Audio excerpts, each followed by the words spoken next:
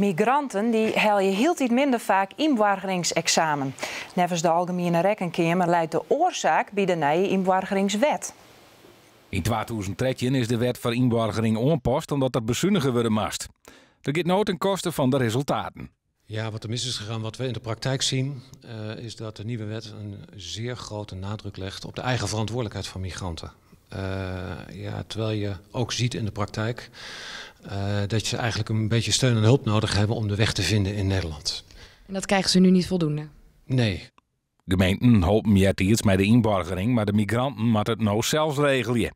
Het aantal mensen dat slaagt van een inburgeringsexamen is dit toch met de helft weer betekent dat mensen langer moeten wachten voordat ze de, op de Nederlandse arbeidsmarkt terecht kunnen.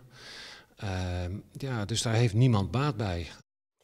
Nee, ja, Bouke Eert Kupers, jou binnen uh, teamleader integratie van vluchtelingenwerk in Ljout. En uh, Joko IJsen, jou binnen verantwoordelijk voor de inburgeringscursussen van het Friesland College. Uh, ja, de oorzaak leidt bij die nieuwe wet. wie dat een verrassing? Ja, eigenlijk net. Ik uh, wel in, in de gaten dat het, nou, ik wel dacht van, uh, nou, dat het leeg is maar dat het zal leeg uh, dat, dat voel me wel weer, weer Maar uh, omdat ja, wij begeleiden natuurlijk een protte statushouders en ik zie aan de cliënten zelf wel van, nou, de ene is verder in de oren, maar daar ben ik ook bij. Daar denk ik bij mezelf van, jongens, en, en iedereen weer tekst aan. Dus ik hier wel een, een, ja, mijn betekenis erbij, maar goed, het is, dat is Sabi, dat ik net in de gaten. Nee, nee Jim Jouwen, die cursussen, ja. wie het voor jou een verrassing?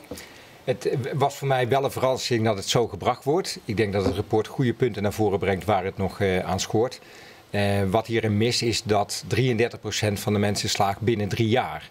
En dat zien wij wel heel erg op het Friesland College, dat mensen langer de tijd nodig hebben dan de drie jaar die daarvoor gesteld is.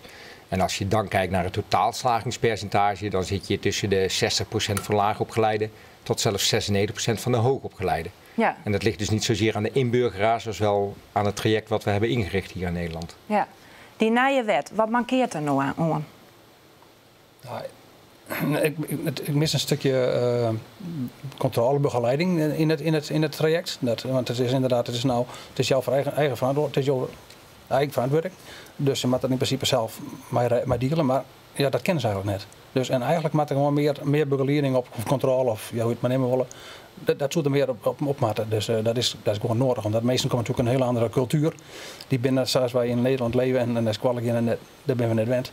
Dus er moet gewoon meer, meer begeleiding op in, in, in, hun, uh, in hun inburgering. Ja, die begeleiding die zit eerst bij de gemeente, dat ja. jij krijgt. Zit er nog niet meer bovenop? Nou, eigenlijk net.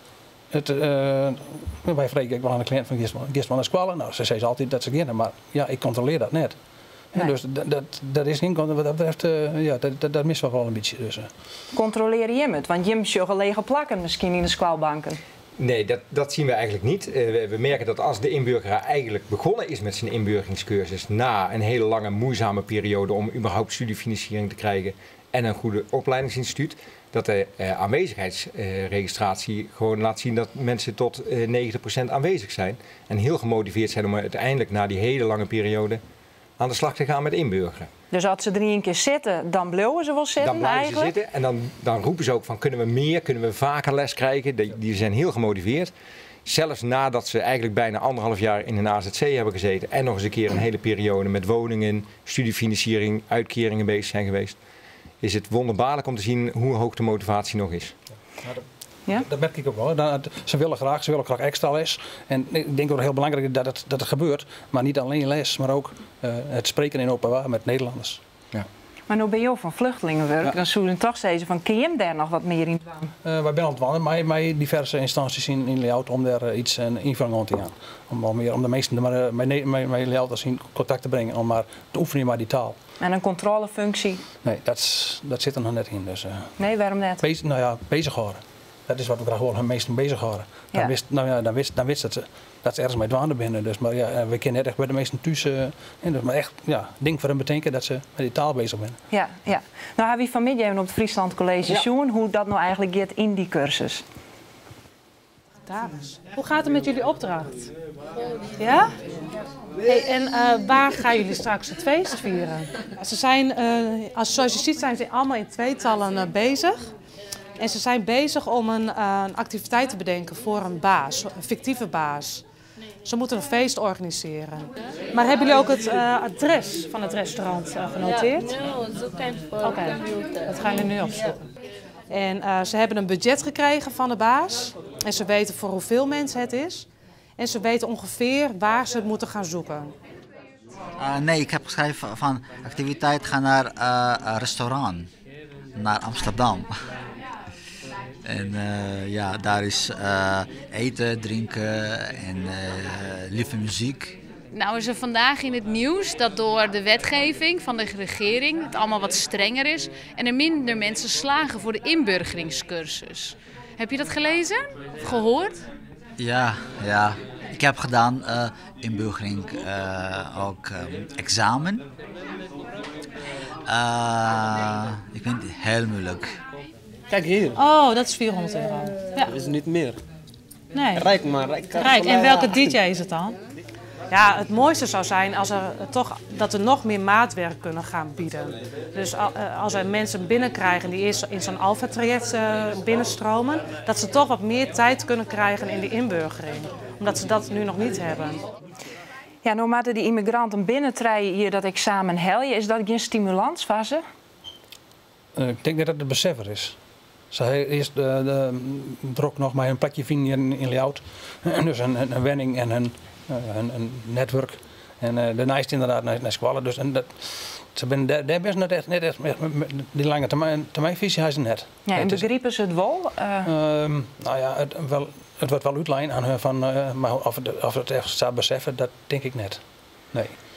En dan hel ze zo'n examen net. Wat uh, bart er dan? Nou, in principe hebben ze vijf keer de kans om de vijf onderdelen van het examen uh, te halen.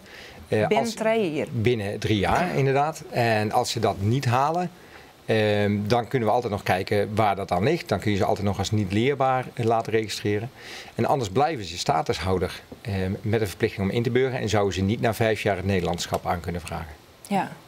Wat zou nou eh, de meest geschikte oplossing wezen, even nou, als we, als we kijken, en daar refereert het rapport ook wel aan, in 2007 was de regie bij de gemeente neergelegd. Die begeleiden eh, de statushouders vrij snel naar de goede opleidingen, het helpen met het aanvragen van studiefinanciering. Dat zijn activiteiten die wij nu deels als Friesland College overnemen, omdat we zien dat ze gewoon worstelen met die hele papieren rompslomp. Dus daarmee proberen we ze sneller die inburgeringen in te krijgen. Dat is eentje. Het tweede wat we proberen te doen is praktijkgestuurd uh, een koppeling te leggen met beroepsopleidingen zodat ze ook meteen in de praktijk, en dat zag je net al een klein voorbeeld van, ze krijgen veel praktijkopdrachten.